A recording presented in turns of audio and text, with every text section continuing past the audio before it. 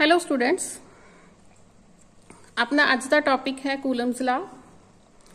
Coulomb ने काफ़ी experiment perform किए ये देखने लिए कि दो पॉइंट चार्जिज के विकार फोर्स ऑफ़ इंट्रैक्शन किसते डिपेंड करती है। दैन उन्हें एक लॉ दिता सी कूलम जिला according the force of interaction between any two point charges is directly proportional to the product of the charges and inversely proportional to the square of the distance between them. दो point charges अपने को Q one and Q two यह force exert कर रहे हैं एक दूजे उत्ते। फोर्स किस तरह डिपेंड करेगी? डायरेक्टली प्रपोर्शनल होएगी यह फोर्स इन्ह की प्रोडक्ट के product of the charges means Q one into Q two F will be directly proportional to Q1 into Q, Q2 and inversely proportional to the square of the distance between them. Square in ਇਹਨਾਂ ਵਿੱਚ ਆਪਾਂ distance suppose ਕੀਤੀ ਹੈ r ਠੀਕ ਹੈ inversely proportional ਹੋਏਗੀ means F will be uh, 1 upon r the square ਠੀਕ ਹੈ ਜੇ ਇਹਨੂੰ ਆਪਾਂ ਕੰਬਾਈਨ ਕਰ ਲੈਨੇ then F will be directly proportional to Q1 into Q2 upon r square. now इस प्रपोर्शनैलिटी आप हटाने एक कॉन्सटेंट लगाने होंगे इस केस कॉन्सटेंट लगाया K no what is K K is electrostatic force constant K is electrostatic force constant इस के वैल्यू डिपेंड करती है जेडे पॉइंट चार्जिस ਕਿਸ ਮੀਡੀਅਮ ਦੇ ਵਿੱਚ ਵੀ ਹੈ ਨੇਚਰ ਆਫ ਮੀਡੀਅਮ ਤੇ ਐਂਡ ਸਿਸਟਮ ਆਫ ਯੂਨਿਟਸ ਤੇ Q1 Q2 ਜਾਂ ਆਪਾਂ ਡਿਸਟੈਂਸ ਨੂੰ ਕਿਸ ਯੂਨਿਟਸ ਦੇ ਵਿੱਚ CGS ਚ ਮੈਜ਼ਰ ਕਰ ਰਹੇ ਹਾਂ ਜਾਂ SI ਚ ਮੈਜ਼ਰ ਕਰ ਰਹੇ ਹਾਂ ਜਿਸ ਤਰ੍ਹਾਂ ਜੇ ਆਪਾਂ CGS ਦੀ ਗੱਲ ਕਰੀਏ CGS ਸਿਸਟਮ ਦੇ ਵਿੱਚ K ਦੀ ਵੈਲਿਊ ਹੁੰਦੀ ਹੈ 1 ਇਨ CGS K ਦੀ ਵੈਲਿਊ ਹੁੰਦੀ ਹੈ 1 ਇਨ SI k ਦੀ ਵੈਲਿਊ ਹੁੰਦੀ ਹੈ 9 10 raised to 9 newton metre square per coulomb square k constant ਨੂੰ ਜੇ ਆਪਾਂ ਥੋੜਾ ਇਲੈਬੋਰੇਟ ਕਰੀਏ then k 1 upon 4 pi epsilon naught 4 pi ਤੁਹਾਨੂੰ ਪਤਾ ਹੀ ਹੈ constant what is epsilon naught epsilon naught is absolute electrical permittivity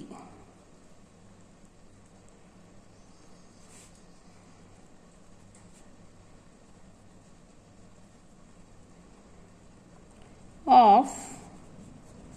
free space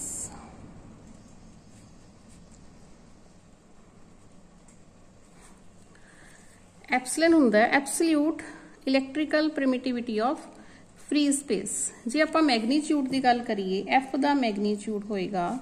1 upon 4 pi epsilon naught into q1 the magnitude q2 the magnitude upon r square now epsilon naught the value ਵੀ ਤੁਸੀਂ ਯਾਦ ਰੱਖ ਸਕਦੇ ਹੋ this is equal to 8.85 into 10 raised to minus 12 coulomb square per newton meter per meter square. This is value of epsilon naught. ਇਸ epsilon ਨਾਟ ਦੀ value ਤੁਸੀਂ ਪੁੱਟ ਕਰਕੇ ਦੇਖੋਗੇ ਤਾਂ k ਦੀ ਵੈਲਿਊ ਇਹ ਆ ਜਾਏਗੀ 9 10 raised to 9 newton metre square per coulomb square so next ਹੈ ਕੂਲਮ ਲਾ ਇਨ ਵੈਕਟਰ ਫਾਰਮ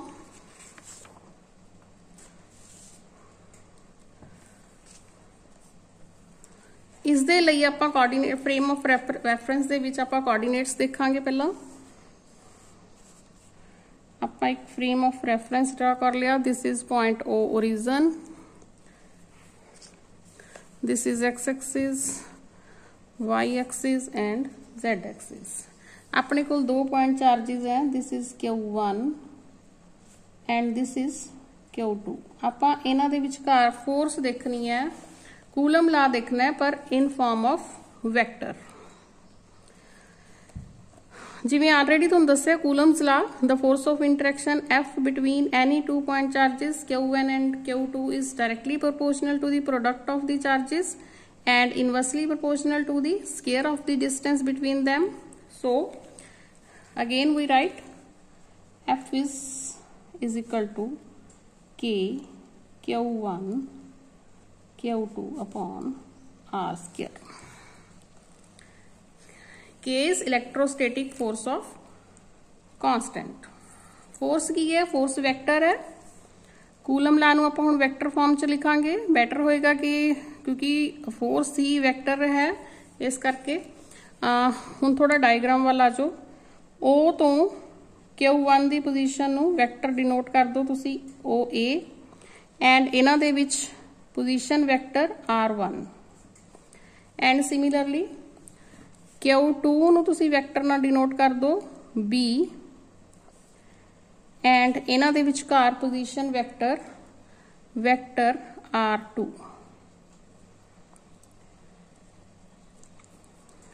ਜਿਹੜੀ Q1 ਕਰਕੇ Q2 ਦੇ ਉੱਤੇ ਫੋਰਸ ਪੈ ਰਹੀ ਹੈ that will be F12 Q1 ਕਰਕੇ ਐਂਡ ਪੁਆਇੰਟ B ਦੇ ਉੱਤੇ Q2 ਕਰਕੇ ਜਿਹੜੀ ਫੋਰਸ ਪਏਗੀ that will be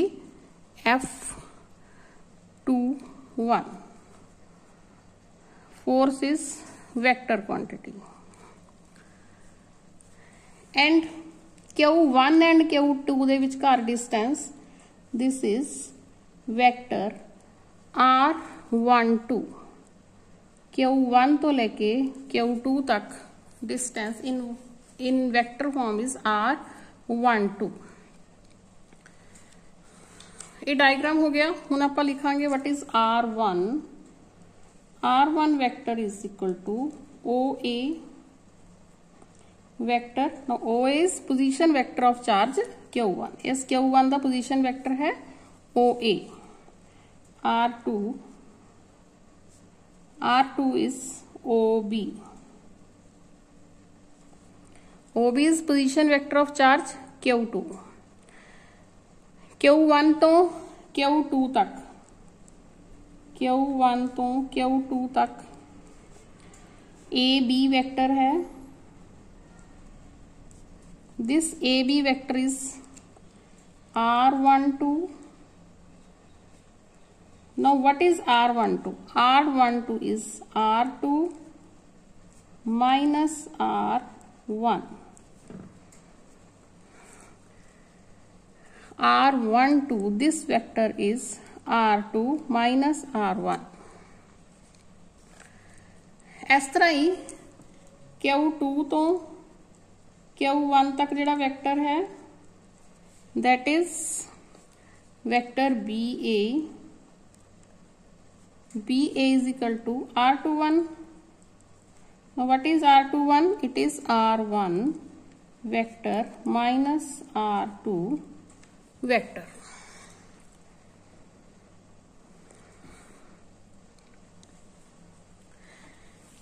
R one two the magnitude कितना है? Vector one two the magnitude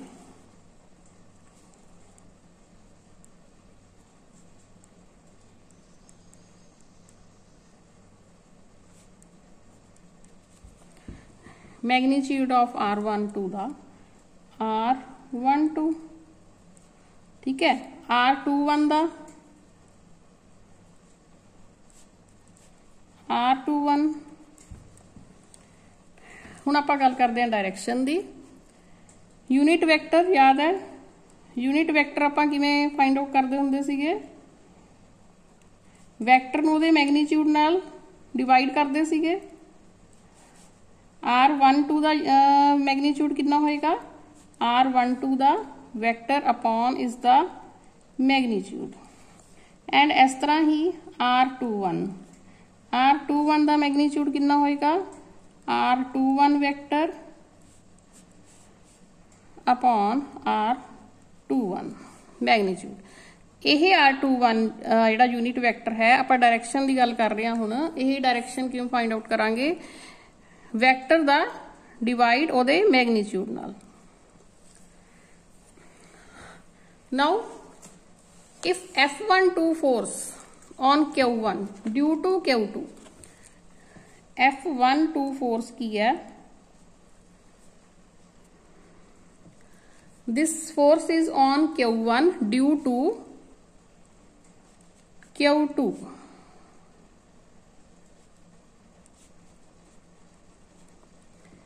ठीक है एफ टू वन की है force on Q two due to Q one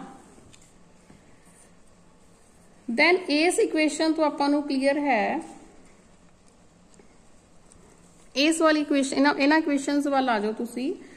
F two one की होएगा। Coulomb's force between two point charges Q one and Q two located कितने हैं? At position vector R one and R two ठीक है? Q one and Q two locate है R one से R two से ਤੇ ਠੀਕ ਹੈ ਆਪਾਂ ਵੈਕਿਊਮ ਦੀ ਗੱਲ ਕਰ ਰਹੇ ਹਾਂ ਫਿਲਹਾਲ एफ़ टू वन कि होएगा? One upon four pi pi naught Q one into q2 upon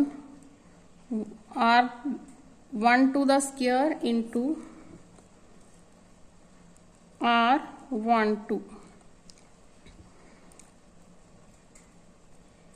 right ਆਪਾਂ ਇਸ ਯੂਨਿਟ ਵੈਕਟਰ ਨੂੰ ਇਹਨਾਂ ਦਾ ਮਲਟੀਪਲਾਈ ਦੇ ਫਾਰਮ ਚ ਲਿਖਤਾ। R12 ਵੈਕਟਰ ਲੈਣਾ ਸੀ ਆਪਾਂ ਨੀਚੇ r12 ਦਾ ਸਕੁਅਰ ਲੈਣਾ ਸੀ। ਆਪਾਂ ਇਹਨਾਂ ਦੋਨਾਂ ਦਾ ਮਲਟੀਪਲਾਈ ਕਰਕੇ ਇੱਥੇ ਇਸ ਇਕੁਏਸ਼ਨ ਨੂੰ ਇਸ ਤਰ੍ਹਾਂ ਬਣਾ ਲਿਆ and this will be along AB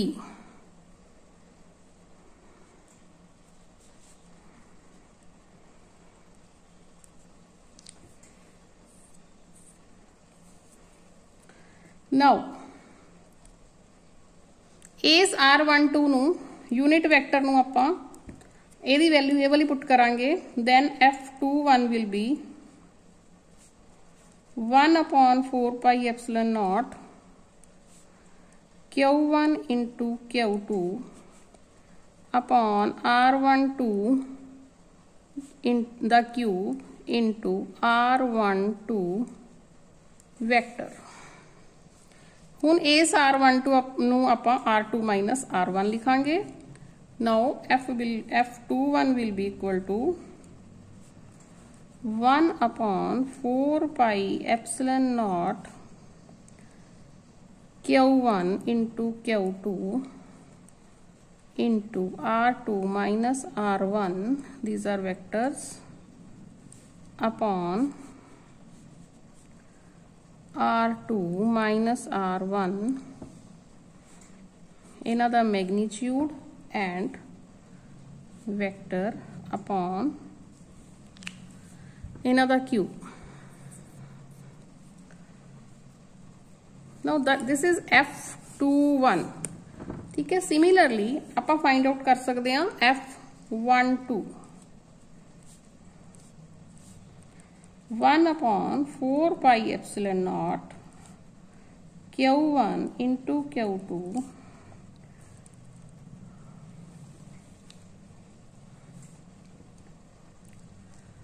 it will be r21 upon r12 the square and according to Newton's third law of motion force on q1 due to q2 will be equal and opposite of force from q2 due to q1 means f12 will be equal and opposite to f21 so this is coulomb's law in vector form and it is according with Newton's third law of motion. Next है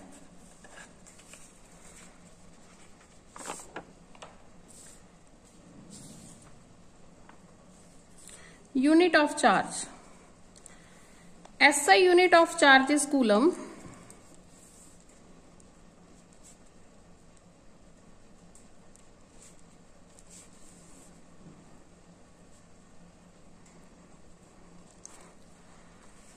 And coulomb ਨੂੰ ਆਪਾਂ define ਕਰ ਸਕਦੇ ਹਾਂ suppose ਕਰੋ Q1 is equal to 1 ਹੈ 1 unit charge ਹੈ Q2 ਵੀ unit charge ਹੈ ਠੀਕ ਹੈ ਉਹਨਾਂ ਦੇ ਵਿਚਕਾਰ r ਡਿਸਟੈਂਸ ਹੈ 1 metre then F will be equal to 9 into 10 raised to 9 newton ਇਹ ਆਪਾਂ ਯੂਨਿਟ 1 ਕਿਉਂ ਮੰਨਿਆ ਕਿਉਂਕਿ ਆਪਾਂ ਫਾਰਮੂਲੇ 'ਚ ਪੁੱਟ ਕਰਕੇ ਦੇਖਣਾ ਚਾਹੁੰਦੇ ਆ ਜਿਹੜਾ ਆਪਣੇ ਕੋਲ ਫਾਰਮੂਲਾ ਹੈ F is equal to k q1 q2 r square ਵਾਲਾ ਠੀਕ ਹੈ एफ़ अपने को nine into ten raise to nine है। This is equal to k की value nine into ten raise to nine Q one and Q two one into one upon R distance one the square means ये आ गया अपने को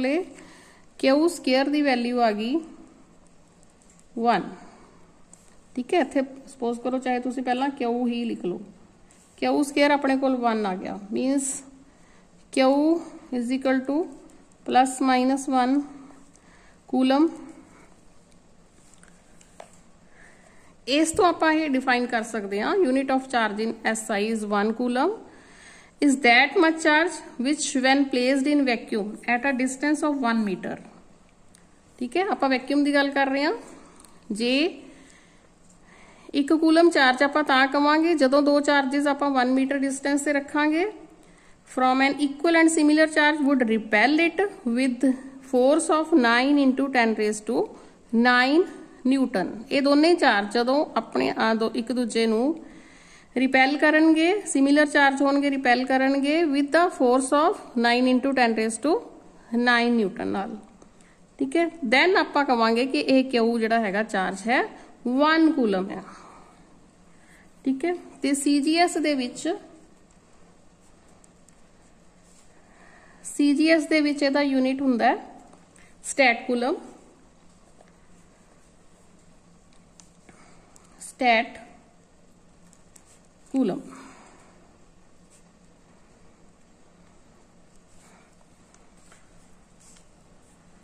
next है अपना what is dielectric constant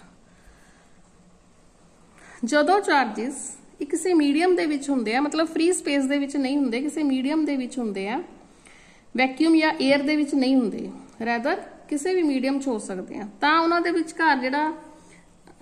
force ਹੁੰਦਾ ਹੈ, ਤਾਂ ਉਸ ਆਪਾਂ ਫੋਰਸ ਨੂੰ ਆਪਾਂ ਲਿਖਦੇ ਆ Fm ਨਾ ਆਪਾਂ ਫ੍ਰੀ ਸਪੇਸ ਦੀ ਗੱਲ ਨਹੀਂ ਕਰ ਰਹੇ, ਇਸ ਕਰਕੇ 4 ਪਾਈ ਐਪਸਿਲਨ ਲਿਖਾਂਗੇ ਐਪਸਿਲਨ ਨਾਟ ਨਹੀਂ ਲਿਖਾਂਗੇ। Q1 q2 upon r square now this epsilon is absolute electrical permittivity of the intervening medium and f ਜਿਹੜਾ ਹੈਗਾ ਫ੍ਰੀ ਸਪੇਸ ਦਾ f ਨਾਟ ਆਪਾਂ ਉਹਦੇ ਨਾਲ ਡਿਵਾਈਡ ਡਿਨੋਟ ਕਰ ਦਿੰਨੇ ਆ f ਫ੍ਰੀ ਸਪੇਸ ਜਾਂ 에ਅਰ ਦਾ ਹੁੰਦਾ ਹੈ f 1/4 ਪਾਈ ਐਪਸਿਲਨ ਨਾਟ q1 q2 r2 ਇਸ ਦੋਨੇ ਇਕੁਏਸ਼ਨ ਜਦੋਂ ਆਪਾਂ ਡਿਵਾਈਡ ਕਰ ਦਿੰਨੇ ਆ ਤਾਂ ਆਪਣੇ ਕੋਲ ਆਉਂਦਾ ਹੈ f naught upon f m is equal to epsilon upon epsilon naught ਠੀਕ ਹੈ ਐਪਸਿਲਨ ਅਪਨ ਐਪਸਿਲਨ ਨਾਟ ਨੂੰ ਆਪਾਂ ਕਹਿੰਦੇ ਆ ਐਪਸਿਲਨ r ਜਾਂ ਇਹਨੂੰ ਡਿਨੋਟ ਕਰ ਸਕਦੇ ਆ k ਨੂੰ ਨਾਲ now this epsilon r or k these are relative electrical permittivity of the medium या इन्हों कहने dielectric constant of the medium इसमें डिफाइन आप कर सकते हैं dielectric constant of a medium is the ratio of absolute electrical permittivity of the medium to the absolute electrical permittivity of free space medium the upon free space इन्होंने दोनों की ratio okay students ਆਪਾਂ ਅੱਜ ਇੰਨਾ ਹੀ ਕਰਨਾ ਹੈ। ਇਸ ਤੋਂ ਬਾਅਦ ਨੈਕਸਟ ਟਾਪਿਕ ਨਾਲ ਆਪਾਂ ਜਲਦੀ ਹੀ ਮਿਲਦੇ ਹਾਂ। ਥੈਂਕ ਯੂ ਬੱਚੇ।